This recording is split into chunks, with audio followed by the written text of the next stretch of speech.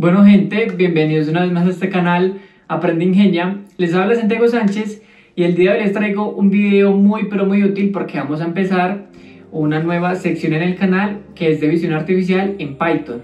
El día de hoy les voy a explicar cómo podemos leer imágenes en Python, cómo podemos pasar la escala de grises, cómo podemos hacer una detección de bordes sencilla y cómo podemos extraer los histogramas de las imágenes para saber si están muy oscuras o muy brillantes.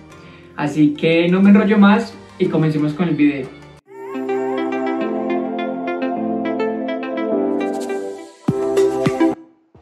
Bueno amigos, como hago normalmente, primero les doy los conceptos fundamentales de lo que vamos a trabajar en la programación y después pasamos a la parte práctica. El día de hoy vamos a utilizar una herramienta que se llama Jupyter Notebook para poderles compartir el código, así que déjenme en los comentarios si quieren que les comparta el código y apenas lleguemos a 1500 suscriptores les estaré subiendo eh, no solamente el código de la clase de hoy, sino de todas las clases de visión artificial que voy a estar subiendo en los próximos días. Así que una de las cosas que vamos a realizar en, el día de hoy es la detección de bordes de Canning. Esta detección de bordes básicamente lo que hace es, eh, pues primero hace una eliminación de ruido y es quitar digamos que píxeles que son molestos para nosotros procesar la imagen y después lo que hace es hallar el gradiente con una derivada para eh, observar los cambios de tonalidad en el píxel. Entonces aquí como podemos observar pues aquí digamos que tenemos píxeles rojos y aquí píxeles negros. Entonces lo que hace es por medio de una derivada mirar dónde están los cambios de píxel para poder determinar así pues el borde cierto porque donde hay un cambio abrupto de píxeles pues hay un borde como tal. Y este método podemos asignarle, a este método podemos asignarle un umbral, ¿sí? Donde dependiendo de este umbral, pues podemos detectar unos bordes o no. Entonces aquí ponemos el ejemplo de este borde naranja, que aquí tenemos unos píxeles grises oscuros y aquí tenemos unos píxeles grises un poco más claros. Entonces, según el umbral que nosotros le demos a nuestro algoritmo, entonces va a detectar que esto es un borde o no, o simplemente va a hacer de cuenta que es una misma, una misma región. Así que teniendo en cuenta esto vamos a pasar a los histogramas.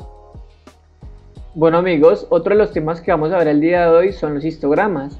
Y los histogramas los utilizamos para buscar y mirar eh, la distribución de los píxeles en nuestra imagen o foto.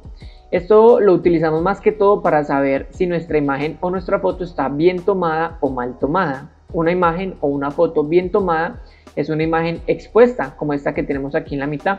¿sí? Pero una imagen mal tomada, una foto mal tomada, puede ser subexpuesta o sobreexpuesta. ¿Qué quiere decir? Subexpuesta, que está muy oscura, o sobreexpuesta, que está muy clara. ¿Y cómo hacemos para determinar eso? O sea, ¿bajo qué criterio determinamos si mi imagen está subexpuesta o sobreexpuesta? Pues lo vemos en el histograma. Entonces, en, en el histograma de una imagen subexpuesta, vamos a tener la mayoría de nuestros píxeles pues cerca del cero. Nuestro eje X es la tonalidad de los píxeles que va desde 0 hasta 255. Entonces si tenemos una imagen muy oscura pues vamos a notar que nuestros píxeles están muy cerca del 0 y eso no nos sirve.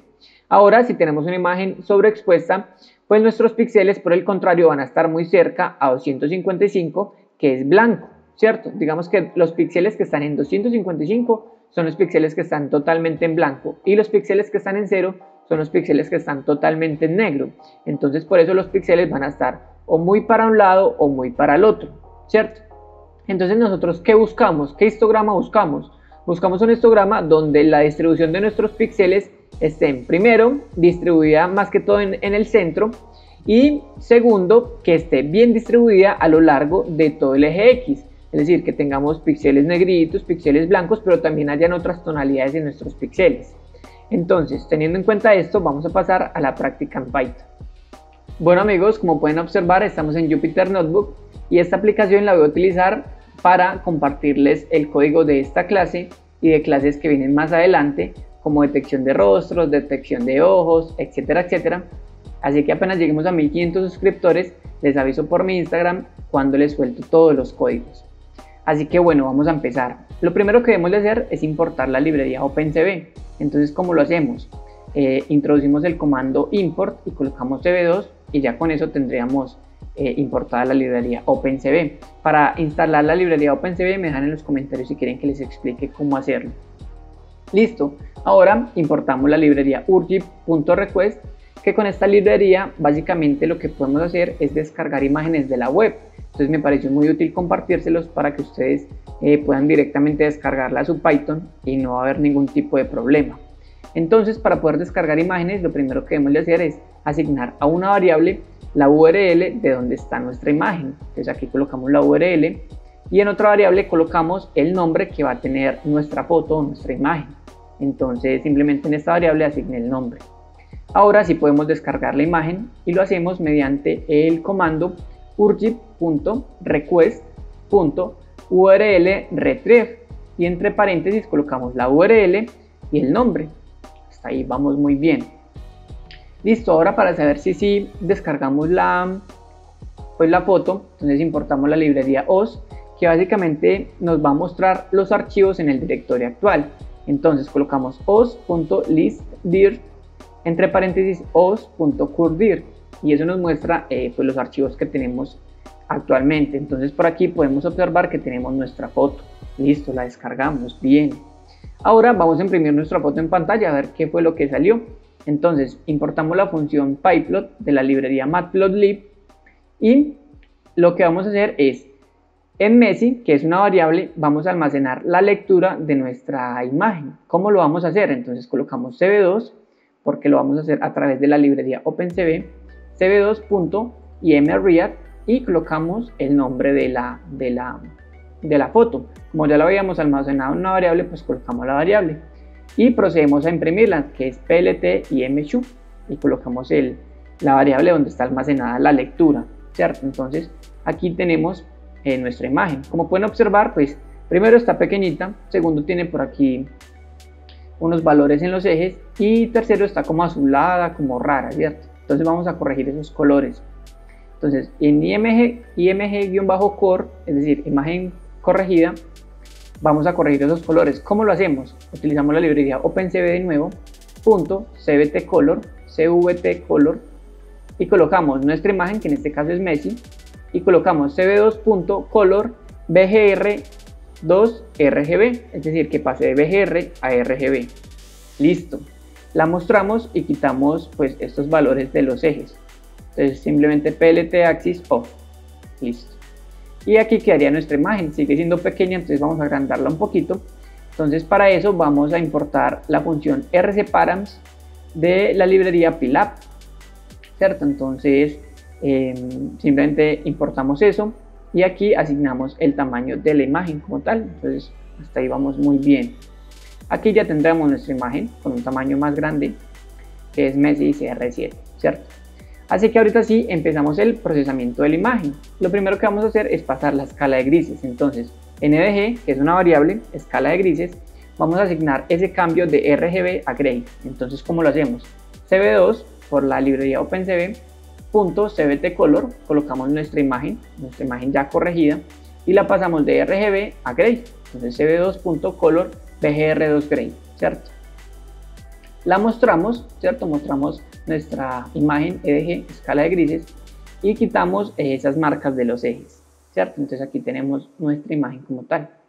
Ahora podemos hacer lo que queramos con ella. En este caso, pues como es un primer video, vamos a realizar una detección de bordes por medio del método CANI que ya les expliqué anteriormente, es muy sencillito. Entonces verificamos el tamaño de la imagen y simplemente eh, todo el método cani lo vamos a almacenar en una variable para después mostrarla, entonces es muy sencillo de hacer. Entonces en bordes vamos a almacenar todo el método cani. ¿Cómo lo hacemos? cb2.cani y colocamos nuestra imagen ya corregida, ¿cierto? Listo, hasta ahí vamos bien. Pero debemos de asignar dos umbrales, un umbral por debajo y un umbral por encima de lo que viene siendo la gradiente de los píxeles, es decir, el cambio de tonalidad de píxeles. Entonces, estos umbrales los asignamos según las necesidades de nuestra imagen. Yo para esta imagen asigné 200 como el umbral menor y 400 como el umbral mayor para que nos diera este resultado, que aquí simplemente lo mostramos, mostramos bordes, ¿cierto? Entonces, como pueden observar, se ve bien eh, lo que viene siendo los bordes, se nota que está, que está eh, digamos que bien definido pero ustedes pueden jugar con estos umbrales. Lo vamos a cambiar a 50 para que ustedes observen que como bajé el umbral menor, entonces va a dejar pasar mucho más ruido. Como ustedes pueden observar, aquí hay muchos punticos. pero eso va a dejar pasar mucho más ruido, lo que va a hacer que no se detecte tan bien los bordes. Así que voy a correr esto y apenas cargue se los muestro. Listo amigos, como pueden observar, pues eh, pasó mucho, mucho ruido. Es decir, eso casi que ni detecta bordes, eso parecen pajaritos ahí volando. Entonces por eso es tan importante que ustedes busquen el umbral adecuado para su imagen. Así que listo, vamos a pasar a lo que vienen siendo los histogramas.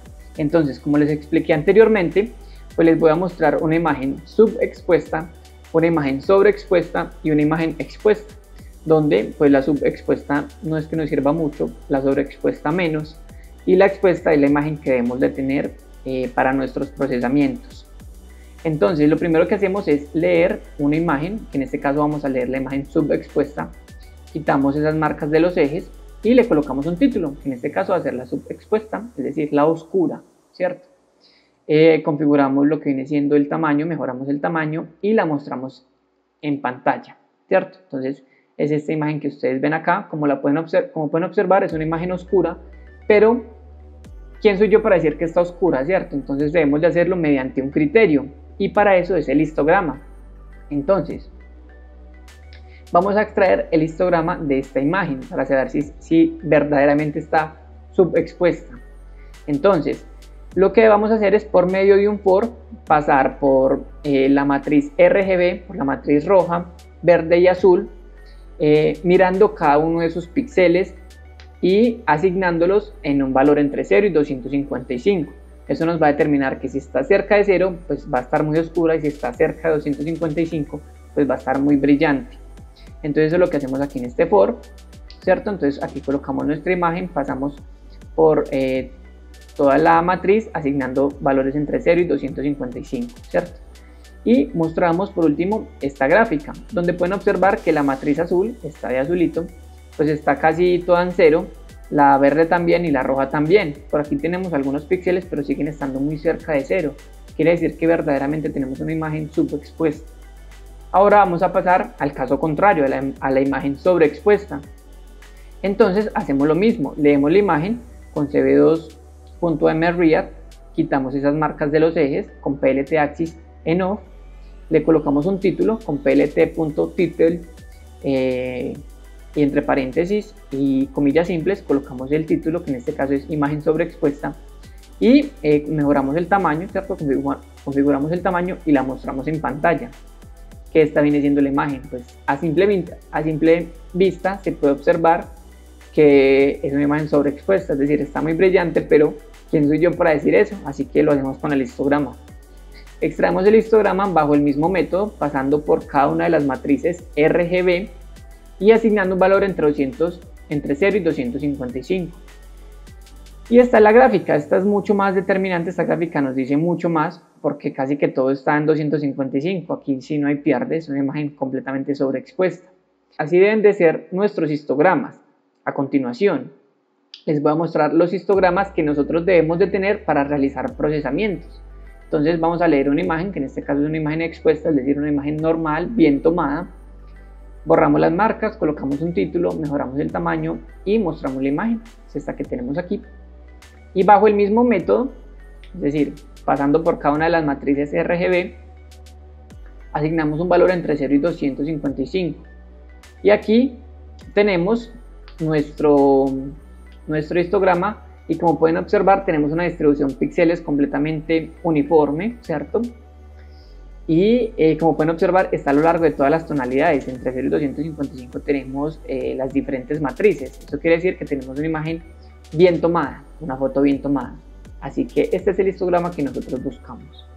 Así que nada gente, espero les sirva mucho el video, espero les haya gustado. Recuerden apoyar el canal y nos vemos en una próxima ocasión. Hasta luego.